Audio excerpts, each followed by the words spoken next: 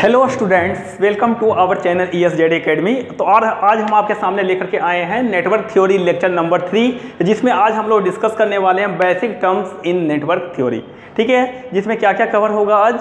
Analysis versus synthesis network versus circuit loop versus mesh and node versus junction तो इसे हम लोग एक वन बाय वन पूरा डिटेल में देखने वाले हैं कि ये बेसिकली टर्म्स होते क्या हैं। ठीक है? क्योंकि बार बार ये पूरे नेटवर्क थ्योरी में आएँगे ये टर्म ठीक है? तो उसको जानना बहुत ज़रूरी है, ठीक है? तो आइए हम लोग डिस्कस करते हैं। That is one by one सबसे पहले हम लोग डिस्कस करेंगे that is analysis versus synthesis ठीक है तो आप देखते होंगे बहुत सारे बुक में ऐसा लिखा हुआ रहता है कि नेटवर्क सिंथेसिस एंड एनालिसिस तो इसका बेसिक मीनिंग क्या होता है? What is analysis and what is synthesis ठीक है? तो सबसे पहले मैं एक ले नेटवर्क ले लेता हूँ. दिस इज़ अ नेटवर्क जिसको मैं एक ब्लॉक डायग्राम से शो कर रहा हूँ. ठीक है? दिस इज़ नेटवर्क यहाँ पर मैंने क्या दिया? इनपुट अप्लाई किया.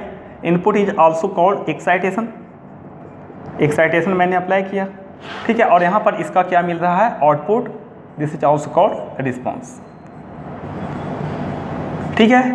तो अगर हम एनालिसिस पार्ट को देखें, अगर हम एनालिसिस पार्ट को देखें तो इसमें क्या होता है? नेटवर्क आपका दिया हुआ रहता है। नेटवर्क इज़ गिवन एक्साइटेशन आपका दिया हुआ रहता है। Excitation is also given and you have to find the response मगर मतलब आपको आउटपुट निकालना रहता है। अगर मैं एक सर्किट ड्रॉ करूँ तो अगर हम बोलें कि एक सर्किट है, हमारे पास में टेन वोल्ट का सपोज़ दैट बैटरी लगा हुआ है, ये टेन ओम हो गया।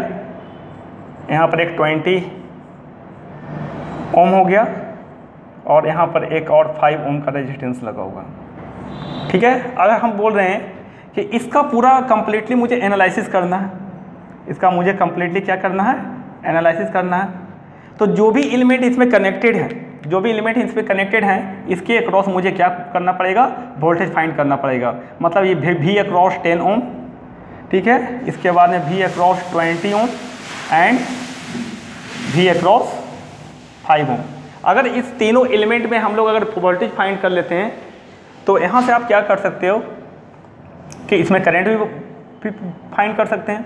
ठीक है, इसमें करंट भी फाइंड हो जाएगा। इसमें सपोज़ मैं मान लेता हूँ आई वन इसमें करंट मान लेता हूँ मैं आई टू इसमें मान लेते हैं दैट इज़ आई थ्री ठीक है so once you find the voltage across each and every element connected in that network then the network is said to be completely analysed मतलब वो नेटवर्क को कब बोलोगे कि आप कम्प्लीटली एनालाइड हो गया?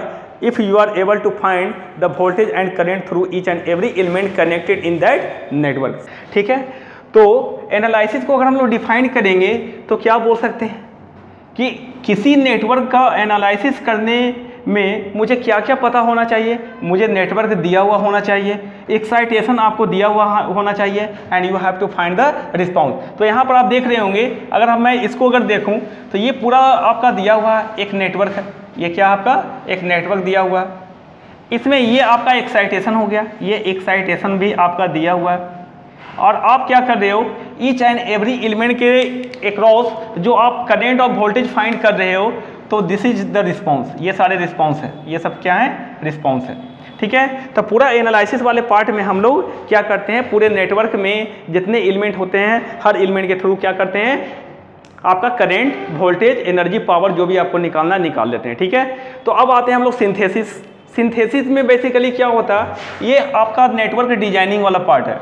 मतलब आपका क्या होगा? इनपुट और आउटपुट में कुछ रिलेशन दिए हुए रहते हैं। That is in the form of transfer function और उसके बेसिस पे आपको क्या करना है? कि नेटवर्क का डिज़ाइनिंग करना रहता है। तो अगर मैं साइंथेसिस में अगर देखूँ तो सिंथेसिस का मतलब ये हो गया कि आपका एक्साइटेशन और रिस्पॉन्स में कुछ रिलेशनशिप दिया हुआ रहता है। एक्साइटेशन और रिस्पॉन्स में कुछ रिलेशनशिप दिया रहता है, जिसको आप बेसिकली बोलते हो कि इस नेटवर्क का पूरा ट्रांसफ़र फ़ंक्शन दिया हुआ है। जिसको हम लोग कैसे रिप्रेजेंट करते हैं एच से रिप्रेजेंट करते हैं। और सपोज़ दैट यहाँ पर मैं मान लेता हूँ कि आपका टाइम डोमेन में यहाँ पर जो आउटपुट है दिस इज़ वाई है, और इसको मैं अगर लेपलेस ट्रांसफॉर्म अगर ले लूँ तो इसका जो आपका लेपलेस ट्रांसफॉर्म आएगा that is Y of S और यहाँ पर जो आप इनपुट अप्लाई कर रहे हो that is X of T और इसका लेपलेस ट्रांसफॉर्म क्या हो जाएगा that is X of S तो ट्रांसफ़र फ़ंक्शन आपको दिया हुआ रहेगा that is H of S जो कि रिलेट करता है क्या?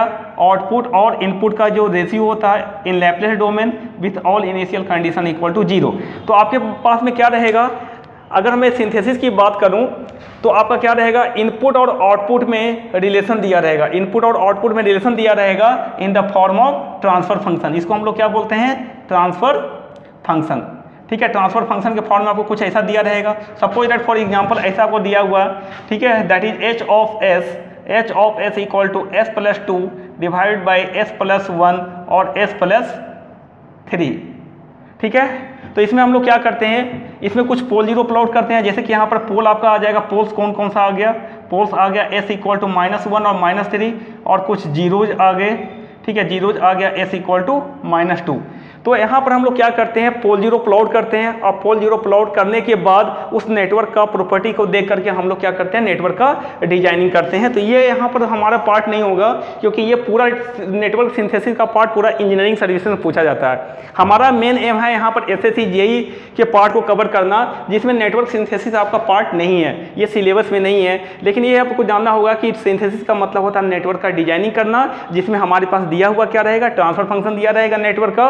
उसके बेसिस पे कोई R L R L series circuit है आर एल पैरेलल सर्किट है, या फिर आर एल सी सर्किट है, या फिर एल सी सर्किट है तो हर सर्किट का अपना एक क्या होता है प्रॉपर ट्रांसफ़र फ़ंक्शन होता है, उसका एक प्रॉपर्टी होता है, उसके बेसिस पे हम नेटवर्क का क्या करते हैं डिज़ाइनिंग कर लेते हैं। ठीक है? तो ये हमारा यहाँ पर पार्ट नहीं होगा, क्योंकि ये सिलेबस में आपका नहीं है। ठीक है?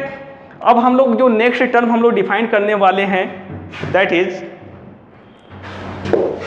जो नेक्स्ट टर्म हम लोग डिफाइन करने वाले हैं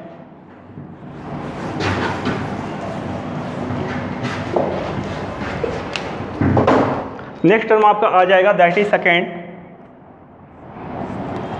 network versus circuit network versus circuit बहुत लोगों को कन्फ्यूज़न होता है what is network and what is circuit what is network and what is circuit तो सबसे पहले एक मैं बना लेता हूँ नेटवर्क आपका जैसे सोर्स वोल्टेज वी और यहाँ पर कुछ रजिस्टेंसेस इस तरह से लगे हुए हैं। ठीक है, इसको मान लेते हैं आर वन है, ये आर टू है, एक आर थ्री है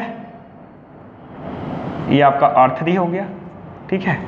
और यहाँ पर मैं मान लेता हूँ, ये ओपन टर्मिनल ये ए बी है, ठीक है? और यहाँ पर भी एक पार्ट है दैट इज़ ये करेंट सोर्स मान लेता हूँ, ये आई ऑफ़ आई एस है, ठीक है? और ये इस तरह से कनेक्टेड ये कुछ इस तरह से कनेक्टेड ठीक है? तो अगर आप इसको देखोगे तो यहाँ पर सपोज़ दैट सपोज़ दैट एक कोई मैंस यहाँ पर खड़ा है ठीक है, जो क्या कर रहा है, इस पूरी चीज़ को, इस पूरे सिस्टम को ऑब्ज़र्व कर रहा है। तो इसने क्या देखा? यहाँ सपोज़ डेट कुछ करंट फ्लो कर रहा होगा, मान लेता हूँ आई वन है। यहाँ से करंट फ्लो कर रहा है, इसको मैं मान लेता हूँ, ठीक है कि आई टू करेंट आ रहा है। और यहाँ पर करंट होगा, यहाँ तो ओपन सर्किट हो गया। तो जब ओपन सर्किट होगा तो ओपन सर्किट में आपको पता होगा कि ओपन सर्किट में तो करंट तो ज़ीरो होता है। तो इसमें क्या हो गया? करंट क्या हो गया? ज़ीरो हो गया। इसमें मैं मान लेता हूँ दिस इज़ आई थ्री तो आई थ्री करंट तो करंट तो ज़ीरो हो गया। तो इसने क्या ऑब्ज़र्व किया? इसने बोला कि मैंने किसी टाइम टी पे मैं किसी सिस्टम को ऑब्ज़र्व कर रहा हूँ। इसने बोला कि मुझे दो चीज़ दिखाई दिया। मुझे क्या दिया? दो चीज़ दिखाई दिया। बोला कि कुछ पार्ट में तो करंट नन ज़ीरो आ रहा। कुछ पार्ट में तो करंट नन ज़ीरो आ रहा तो I one is non zero हो गया। आई टू को उसने बोला कि ये भी नन ज़ीरो है। लेकिन बोला कि आई थ्री तो क्या हो गया? ज़ीरो हो गया। तो उसने क्या किया? इसके बेसिस पर दो डेफिनेशन इसने ऑब्ज़र्व करके दो डेफिनेशन को डिफाइन किया। ठीक है? दो टर्म को डिफाइन किया। तो बोला कि इसमें ऐसा पार्ट जिसमें कि करेंट जो है नन ज़ीरो है मतलब करेंट का वैल्यू ज़ीरो नहीं आ सकता इसमें, ठीक है? तो उसको उसको उसने डिफाइन किया सर्किट उसको क्या बोला?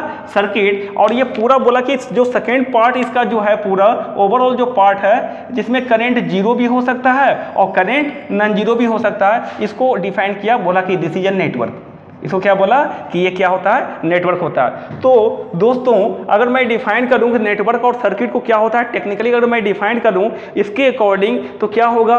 एक आपको देख, दिख रहा होगा कि सर्किट क्या होता है? एक क्लोज पाथ है, जिसमें ये करंट कभी ज़ीरो नहीं हो सकता है। तो सर्किट में कभी भी करंट ज़ीरो नहीं हो सकता है नेटवर्क में करंट ज़ीरो भी हो सकता है और नॉन ज़ीरो भी हो सकता है। तो बेसिकली ये समझिए कि ये नेटवर्क जो होता है, एक तरह का सिस्टम है। नेटवर्क क्या है? एक सिस्टम है और सर्किट उसका क्या है? सब सिस्टम है। उसका एक क्या है? सब सिस्टम होता है। सर्किट, उसका क्या होता है? सब सिस्टम होता है। आप देखे होंगे बड़े बड़े अपार्टमेंट में आप जाते होंगे, ठीक है? तो उस बड़े बड़े अपार्टमेंट में आप देखते होंगे, कुछ फ्लैट्स होते हैं, ठीक है? तो उसमें एक फ्लैट में आप देखोगे, कुछ ओपन स्पेस होता है और कुछ क्लोइड स्पेस होता है। बेडरूम की बात करोगे तो क्लोइड स्पेस होता है पूरा, ठीक है? कहीं पर आप गैलरी वगैरह में जाओगे तो वहाँ पर क्या होता है? कुछ ओपन स्पेस होता है, ठीक है? तो बेसिकली मैं उसको अगर एनालॉजी अगर लूँ, ठीक है? नेटवर्क और सर्किट से तो आप बोल सकते हो कि पूरे जो आपका अपार्टमेंट है दैट इज़ अ सिस्टम और एक अपार्टमेंट सिस्टम है जो किसको रिप्रेजेंट कर रहा है? वो एक नेटवर्क को रिप्रेजेंट कर रहा है। ठीक है, उसके अंदर में जो बेडरूम है, वो किसको रिप्रेजेंट कर रहा है? एक सर्किट को रिप्रेजेंट कर रहा है। तो अगर हम डेफिनेशन, प्रॉपर डेफिनेशन बोलें तो हम लोग क्या बोल सकते हैं कि जो मेरा नेटवर्क है, नेटवर्क क्या है? नेटवर्क में करेंट ज़ीरो भी हो सकता है, करेंट ज़ीरो भी हो सकता है और करंट नॉन ज़ीरो भी हो सकता है। अगर मैं सर्किट की बात करूँ तो सर्किट में कभी भी करंट ज़ीरो नहीं हो सकता। इसमें करंट क्या होगा? Always not equal to zero होगा। तो हम लोग बोल सकते हैं यहाँ पर कि देखो, जो भी अगर सर्किट होगा that is necessarily the part of network क्योंकि एक सब सिस्टम होगा जो कि that is a part of system होता है। ठीक है तो हम लोग बोल सकते हैं कि ऑल सर्किट्स जो होगा all circuits are network all circuits are network but but all networks are all networks are not not necessarily not necessarily a circuit मतलब वो नेटवर्क सर्किट हो भी सकता है और नहीं भी हो सकता but circuit is essential part of network ठीक है? तो ये डिफिनेशन आपको पता चल गया होगा। तो हम लोग बोल सकते हैं कि the circuit is a closed path circuit is a closed path which start from the same node उसी नोड से स्टार्ट होगा और उसी नोड पर जाकर के क्या हो जाएगा? इंड हो जाएगा। Circuit is a closed path which start from the same node and terminate at the same node ठीक है? तो वो सर्किट हो गया। और नेटवर्क में क्या होगा? That is that is may be close और that may be open open और क्लोज दोनों हो सकता है। तो ये हो गया that is second definition that is network versus circuit अब हम लोग आते हैं, जो नेक्स्ट मेरा पार्ट है that is loop versus mesh loop versus mesh इसमें अक्सर स्टूडेंट लोग को क्या कन्फ्यूज़न होता है कि what are the loops and what are the meshes ठीक है? तो फिर अगेन मैं, अगर हम मैं बात करूँ थर्ड थर्ड आपका जो डेफिनेशन है, यहाँ पर that is loop loop versus mesh loop versus mesh तो देखो, दोस्तों, यहाँ पर क्या होता है? लूप भी एक क्लोइड पाथ है। लूप भी एक क्लोइड पाथ है और मेस भी एक क्लोइड पाथ होता है। दोनों एक क्लोइड पाथ को रिप्रेजेंट कर रहा है, लेकिन बेसिकली ये दोनों में डिफरेंस क्या होता है? तो इसको अगर आप प्रैक्टिकल लाइफ से अगर जोड़ के देखोगे तो इसमें पता चलेगा जो आपका न्यूक्लियर फैमिली होता है, जो इंडिपेंडेंट हैं, ठीक है, वो क्या होते हैं? एक मेस होते हैं, ठीक है, और जो ज्वाइंट फैमिली है that is an example of loop ठीक है? तो यहाँ पर अगर हम इसका एक नेटवर्क बनाता हूँ, इसमें मैं शो करता हूँ कि कहाँ कहाँ पर कौन कौन सा लूप होगा और कौन कौन सा मेस होगा। तो ध्यान से देखिएगा एक बार, ठीक है? तो यहाँ पर मैंने ऐसा बना लिया। Suppose that this is the source voltage ठीक है? इसमें मैं मान लेता हूँ दिस इज़ आर वन और ये क्या है? आर टू है। ये क्या है? आर थ्री हो, यहाँ से कनेक्ट कर देता हूँ, ठीक है? आर थ्री है और एक आपका क्या हो गया? ऐसा कनेक्टेड है। ये आर फोर मैं मान लेता हूँ, यहाँ से एक एक करेंट सोर्स कनेक्टेड है। ठीक है? और जो इस तरह से एक रेजिस्टेंस के थ्रू आपका ये आर फाइव है और इससे कनेक्टेड है। मैं यहाँ पर सारे पॉइंट का जहाँ पर जहाँ जहाँ पर जंक्शन और नोड बन रहा है वहाँ पर मैं उसको क्या कर देता हूँ? यहाँ पर सारा नाम नेम दे देता हूँ, ठीक है? तो suppose that this is point A ये पॉइंट भी है। जहाँ जहाँ पर दो एलिमेंट का कनेक्शन होता है, वहाँ पर क्या बनते हैं? एक जंक्शन या नोड बनता है, ठीक है? तो अब यहाँ पर मान लो, ये पॉइंट सी है, ये पॉइंट डी हो गया, और यहाँ पर पॉइंट क्या हो गया? ई e हो गया। तो देखो, यहाँ पर क्या हो सेम पॉइंट है, ठीक है? मतलब यहाँ पर क्या होता है? ये पूरा यहाँ से यहाँ तक क्या होता है? सेम पोटेंशियल पे होते हैं। दैट इज़ कॉल्ड ग्राउंड तो ये पॉइंट क्या होगा? सेम पॉइंट होगा। मतलब same potential can be represented by same point तो ये बेसिकली क्या होता? है पूरा ग्राउंड होता है। ये पूरा क्या है? ये ग्राउंड है। ये भी ग्राउंड है, ये ग्राउंड है। ये ग्राउंड का पोटेंशियल आप क्या बोलते हो? ज़ीरो वोल्ट होता, ये भी क्या हुआ? ज़ीरो वोल्ट हो गया। यहाँ पर क्या हुआ? ज़ीरो वोल्ट हो गया। तो जब पोटेंशियल ही सेम है तो उसको सेम पॉइंट से रिप्रेजेंट करेंगे। ठीक है? अब इसे मुझे दिखलाना है, ये कौन कौन सा मैसेज है और कौन कौन सा लूप है यहाँ पर। तो देखो, सबसे पहले मैं लेता हूँ यहाँ पर, ठीक है? दैट इज़ फ़र्स्ट ये सेकेंड ये हो गया। दैट इज़ थर्ड ठीक है? तो अगर मैं बोलूँ कि बताओ, इसमें ए डी ई एंड ए ठीक है, जहाँ से मैंने स्टार्ट किया, वहीं से क्लोज किया, ठीक है? तो ये क्या है? उसके बाद में सेकेंड पार्ट ले लेता हूँ that is D C E and D again इस वाले को ले लिया मैंने D C E and D उसके बाद में मैं ये ये ले लेता हूँ ए ठीक है A B C D and A ठीक है, उसके बाद मैं ले लेता हूँ ए डी सी ई एंड ए उसके बाद मैं ले लेता हूँ ए B C E and A ठीक है, जहाँ से मैंने स्टार्ट किया, वहीं से एंड किया।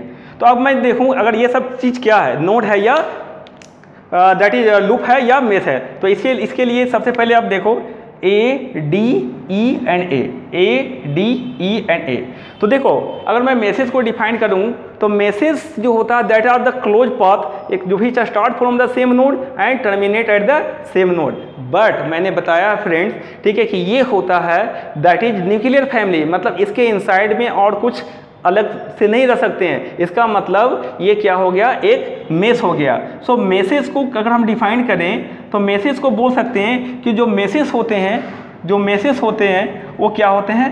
इंडिपेंडेंट और सिंपलेस्ट लूप होते हैं। क्या होते हैं? इंडिपेंडेंट इंडिपेंडेंट और सिंपलेस्ट लूप इंडिपेंडेंट और सिंपलेस्ट लूप होता है। इसका मतलब inside the mesh inside the mesh ना तो मेस होगा और ना तो लूप होगा। मतलब मेस के इनसाइड में ना मेस हो सकता है, मेस के इनसाइड में ना लूप हो सकता है। एक सिंपलेस्ट होगा।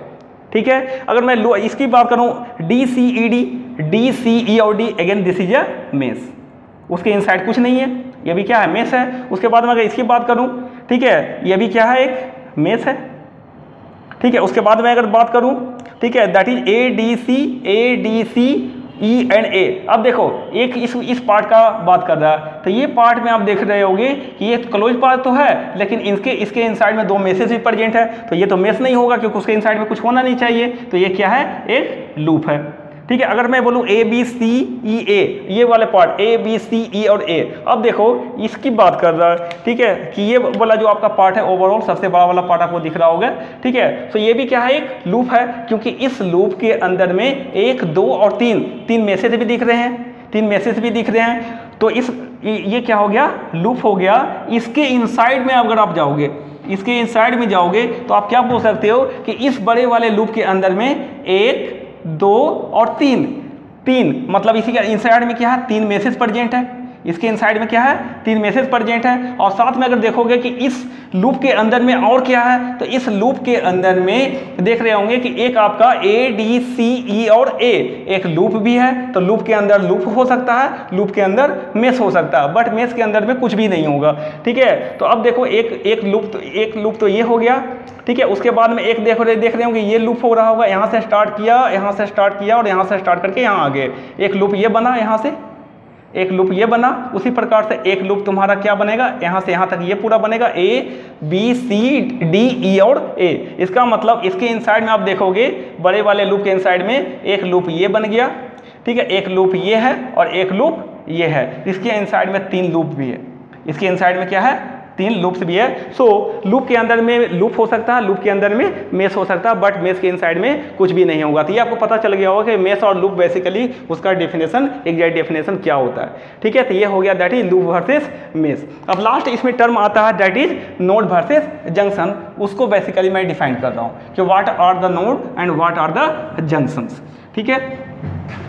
तो लास्ट मेरा एक डेफिनेशन है that is fourth one that is node versus node versus junction node versus junction तो देखो नोड में क्या होते हैं?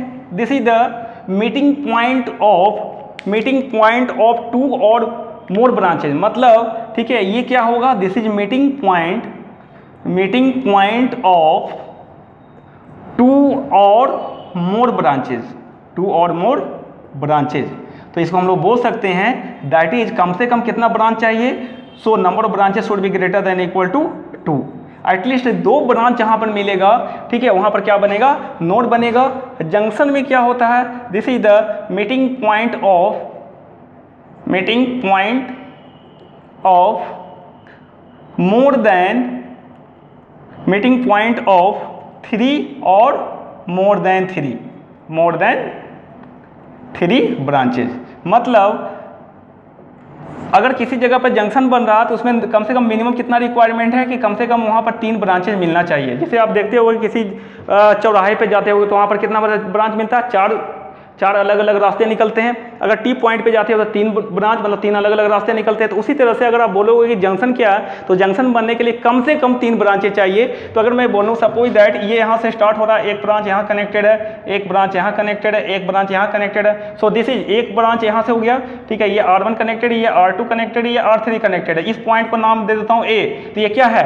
एक तरह से बोलो कि तीन ब्रांचेज मतलब सेटिस्फाई कर रहा है that is the condition of condition of junction को सेटिस्फाई कर रहा so this is a junction this is a junction लेकिन अब एक चीज़ बताइए फ्रेंड्स ठीक है, कि अब नोड बनने के लिए कितना रिक्वायरमेंट है? नोड बनने के लिए दो ही ब्रांच चाहिए। अब बताओ, अगर जहाँ पर तीन ब्रांचेज मिल रही है, वहाँ पर जंक्शन तो बन रहा है लेकिन नोड के कंडीशन को भी सेटिस्फाई कर रहा। है so this is junction and this is also node this is also node ठीक है, लेकिन अगर मैं ऐसा बात करूँ कि दो ही ब्रांच यहाँ पर मिल रहा है दो ही ब्रांच मिल रहा है दैट इज़ आर वन है, ये आर टू है, यहाँ पर दो ही ब्रांच मिला, यहाँ पर पॉइंट दे देता हूँ बी ठीक है? So this is a node this is a node क्योंकि उसका मिनिमम रिक्वायरमेंट क्या है कि number branches should be greater than equal to two लेकिन ये नोड तो है but not a junction but not junction. क्योंकि जंक्शन होने के लिए कम से कम कितना चाहिए? तीन ब्रांचें चाहिए जो कि इसको सेटिस्फाई नहीं कर रहा है। तो आपको इसलिए समझ में आ गया होगा कि नोड बनने के लिए दो या दो से ज़्यादा ब्रांचें चाहिए और जंक्शन बनने के लिए तीन और तीन से ज़्यादा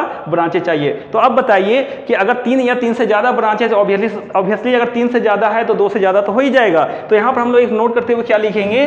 नोट करते हुए लिखेंगे कि जो भी जंक्शन होगा that is necessarily a node so all junctions are all junctions all junctions are node but but all nodes are all nodes are are not a junction all nodes are not a junction क्योंकि अगर particular case होगा जब b equal to to होगा तो ये node होगा ये node होगा बट जंक्शन नहीं होगा नोड होगा बट जंक्शन नहीं होगा। ठीक है? सो ये सारे डिफिनेशन को आपको ध्यान में रखना है। ये बेसिक चीज़ों को आपको बहुत अच्छे तरीके से करना है। ठीक है? तब आगे जा करके इनका अप्लीकेशन पार्ट को हम लोग अप्लाई करेंगे। ठीक है? तो ये डेफिनेशन आप पूरा अच्छी तरह से आप देख लीजिए। मैंने ट्राई किया कि आपको अच्छी तरह से बेस्ट वे में आपको एक्सप्लेन करूँ। ठीक है?